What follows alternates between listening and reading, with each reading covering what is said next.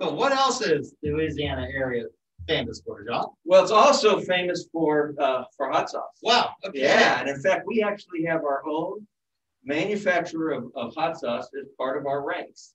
And Um, who might that be? well, he's one of our BD leads, and, Okay. and he's uh, he's on his second tour with the firm. He, you know, he Uh-huh. was here in the '90s, left, came, and is, is back. I think he just finished his first year. Uh, and, it, and so if you haven't guessed already who I'm talking about, it's Tom Hernandez. Uh, and Tom, you, can you tell us a little bit about uh, your your your hot sauce? I absolutely will. Thanks, AJ and Jock.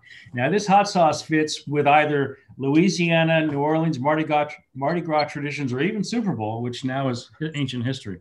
But I've been doing it for about five years. I grow the peppers in my own backyard, and they're really a beautiful and colorful array of things. So, if I can, I'll go straight to sharing my screen to show you what they look like, since you don't want to see what I look like.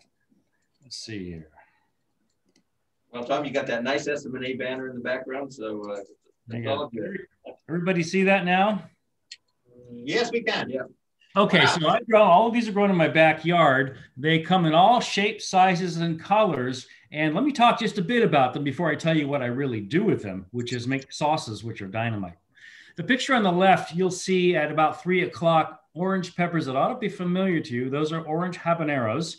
You can find those in most grocery stores if you go to the right part of the uh, of the produce aisle. And um, uh, above and uh, at 12 and 6 o'clock are variants of that, a red habanero and, and a chocolate habanero.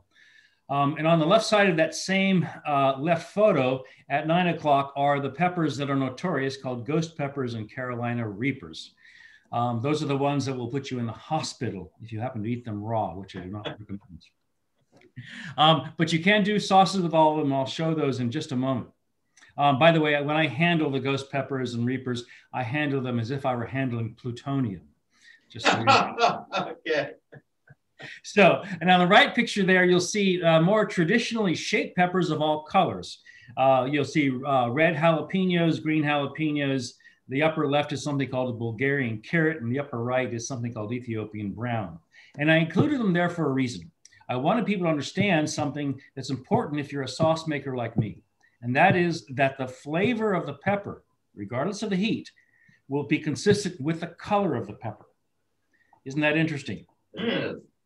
So, so uh, a green, a green pepper like the ones there in the photograph will have a tart flavor, maybe a bitter flavor, and the red ones will have a sweet flavor.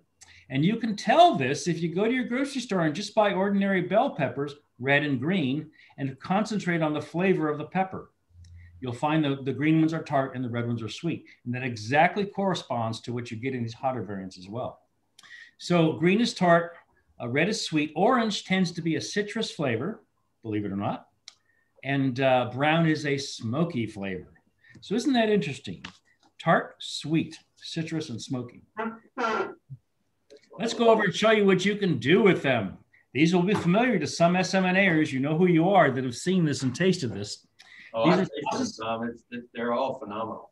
These are sauces I've made at home.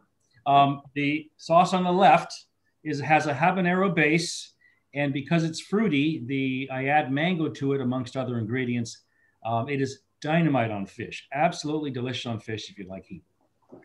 The um, second from the left, the red sauce, is what I just call the uh, taco shop hot sauce.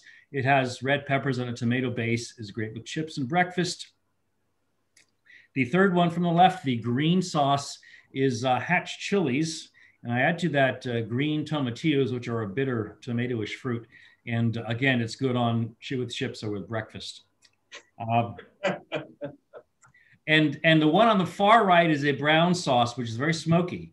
And I add to that, uh, basically, I add to that molasses, brown sugar, and dark mustard, a little bits. Hmm. And it is it is it is wonderful. It is best with fried chicken, believe it or not. Delicious. You know, Hey, Tom, the one I like the best, and I don't think you featured this here unless I'm mistaken, is the, the one that's more Peruvian, which was hot, but it was, uh, was, that was fantastic.